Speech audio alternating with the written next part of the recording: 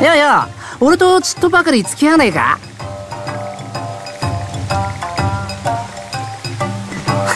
照れやがって。まあ慌てることはねえ。寺から逃げてきてもう坊主はやめたんだ。これからはいくらでも女あさりができる。ほほう。これはひどい面じゃ。なんだと？やぶから棒に俺の顔にケチをつけやがって面の文句ならてめえの面を拝んでからにしろい。そうではない。面相が悪い。と言うておるのじゃお主女難の相が出ておるぞなんで駅舎の類か勝手に占ったってビタ一文出しゃしねえぞ商売なら他は当たんな金などい。らぬでまあ聞くがい。い。お主の面相は波ではない。筆舌に尽くしがたい。いわば想像を絶する難相じゃ。この道を進めば幾人かの女人に出会うがそれこそが災い。難を逃れたいならこれ以上進まず戻ってやり直すことじゃ。寺に戻って坊主をやり直せだバカ言うな。まっぴらごめんよ。もし言う通りなら女好きの俺が女に出会うのにどこが不幸だ？うん。ともかく忠告はしたぞ。あとはお主の決めることだ。さては今俺が振られたと見て女難なんて持ち出したな。ありゃ向こうが照れてただけで本気で口説きゃあんな小娘。もういねえや言うだけ言っていなくなりやがった桃じゃないか。あいつが落としたのかな。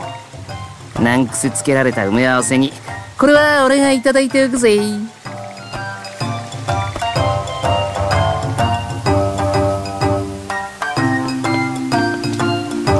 ね。こういう男慣れした苦労とは悪ぶる男が好きなもんだ。よお姉さん一人で寂しいんじゃないか？俺が可愛がってやろうか。俺には全部わかってるんだ。恥ずかしがるなよ。満足させるぜ。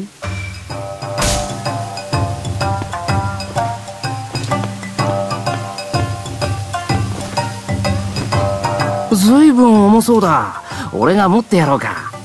でもその前にそこの木陰でちょいと休んでから行くのがいいや。な？この道楽門がふらふらと悪さばっかりしよって。地に足つけて働かんといつかひどい目を見るよ。ちゃおふくろみてえなこと言いやがって。田舎者はこれだ。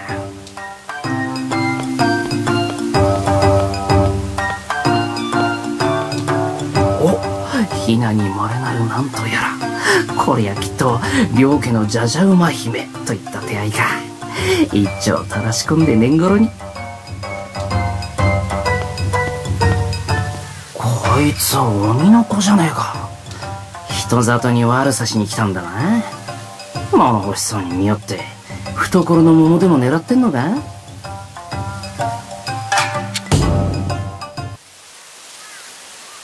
もしも鼻に狂える蝶を哀れと思わばどうか姫君お聞きあれ。そのあで姿に心奪われ今や仏の道も思うにならん。そなたと夫婦になれるならたとえ地獄に落ちてもよい。この清吉の燃ゆる思いを受け入れてはもらえぬか。わかった。言い寄られたのは初めてでよくわからぬがそこまで言うならほらお前様の嫁になってやる。おいここに座ってたお嬢さんはどこに行った？あの化け物みてえな娘っ子ならおにぎり食って走っていったぞ。何言ってやがる。どっちが化け物だお前は鬼の子じゃねえか。隠しとったのになしてわかったんじゃ。お前様はそんなにまじまじとオラを見てただな。なしても何もわからいでか。ともかく俺が口説いたのはお前じゃな。またも懲りずに追っかけてきよったは足柄山の主じゃ。近づくと食われるぞ。お前様はその辺で死んだふりでもしとれ。